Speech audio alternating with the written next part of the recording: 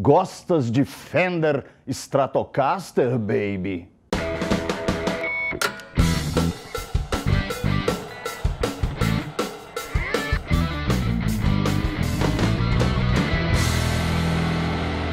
E aí, como é que tá? Tudo bem? Claro, agora é hora dele, o bom e velho rock and roll. E hoje, um dos maiores guitarristas da história do rock, é o que a enciclopédia tem para vocês. Estou falando de um cara que nasceu com o nome de Geoffrey Arnold.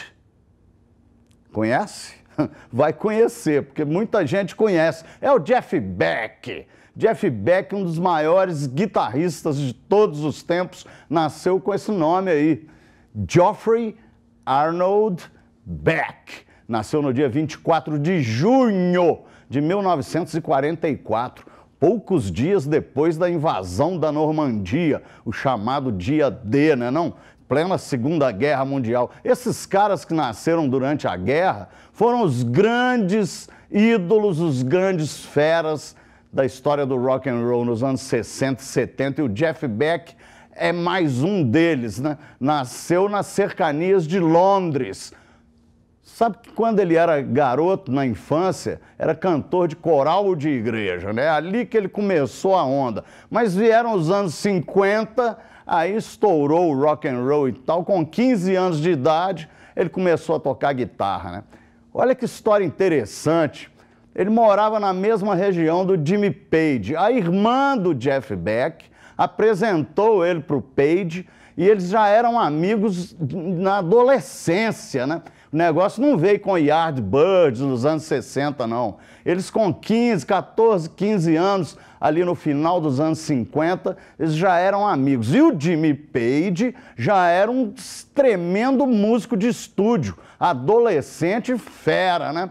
Quer dizer, isso contribuiu muito para a carreira do Jeff Beck, porque enquanto ele estava na, é, no anonimato, ninguém sabia quem ele era. O Eric Clapton, no final de 1964, emburrou com os caras do Yardbirds, aquela tremenda banda inglesa, né? Tinha Keith Ralph, Jim McCarthy, Paul Samuel Smith. O Eric Clapton falou: Olha, eu vou tocar blues, eu não quero saber desse pop que vocês estão fazendo aí, com essa música aí, For, For Your Love e tal, caiu fora. O Jimmy Page falou: Olha, eu tenho um amigo que está tocando muita guitarra, ele chama Jeff Beck, e ele entrou para os Yardbirds. Pouco tempo depois, o Jimmy Page entra também para a banda e você pode ver os dois tocando juntos Jeff Beck e Jimmy Page num filme de Antonioni de 1966 chamado Blow Up. É da pesada, os caras num pub londrino tocando, o Jeff Beck arrebenta a guitarra, quer dizer, antes de Pete Townshend, de qualquer outros quebrarem guitarra e tal, Jeff Beck já fazia isso.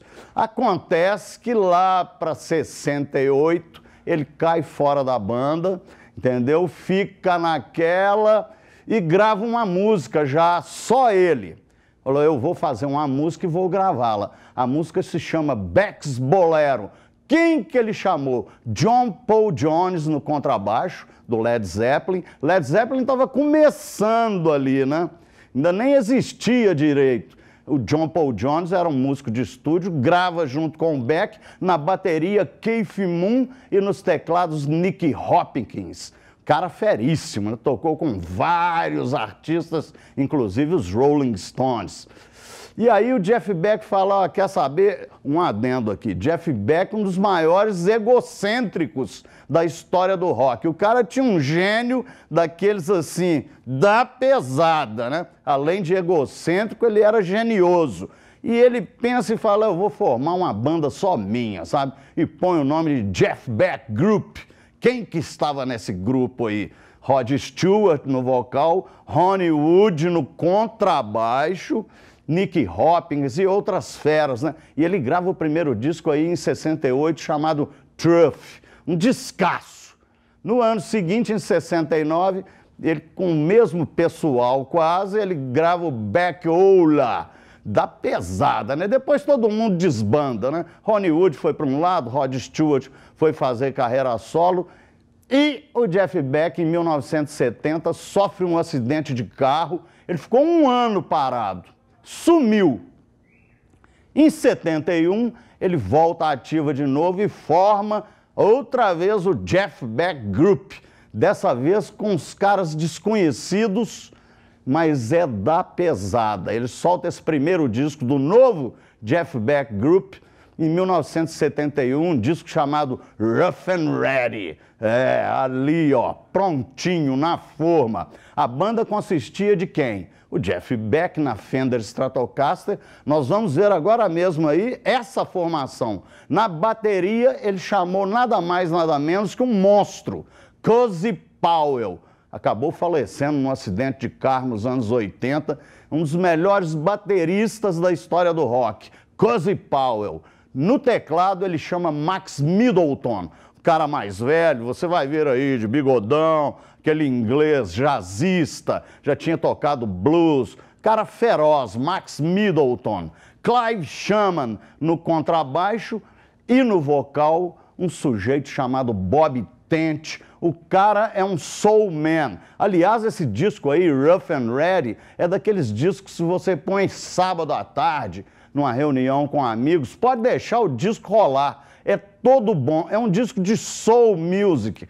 É uma swingueira, um gingado tremendo. A música que nós vamos ver agora mesmo é desse disco. Ele grava mais um álbum em 72 com essa mesma formação aí e aí dá um tempo, dissolve o Jeff Beck Group e volta para um projeto que era para 1970, mas como ele se acidentou de carro, esse projeto ficou engavetado. Ele se junta a Tim Buggert e Carminia Peach.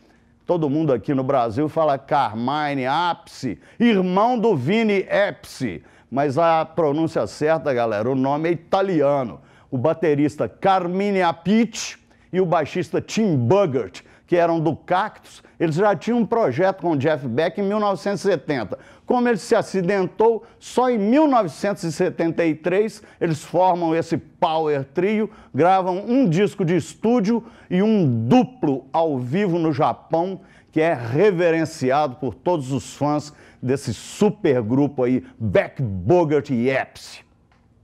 Passa o tempo, o Jeff Beck muda completamente o rumo da sua música. Ele aí começa a flertar com o que todo mundo chama hoje de fusion, mas na época era chamado de jazz rock. E aí ele lança Blow by Blow, Wired, ele enturma com essa onda aí do fusion, do jazz rock e segue lançando discos e mais discos cada hora numa linha, um guitarrista que você escuta o Jeff Beck fala: é, esse é o Jeff Beck, não tem erro. O cara já ganhou três Grammys, galera. Ele não é fácil, não. Agora, genioso e egocêntrico. Está com 71 anos de idade, na ativa até hoje. E nós vamos ver aí esse álbum, a música desse álbum aí, Situation o álbum Rough and Ready, que eu te disse, de 1971.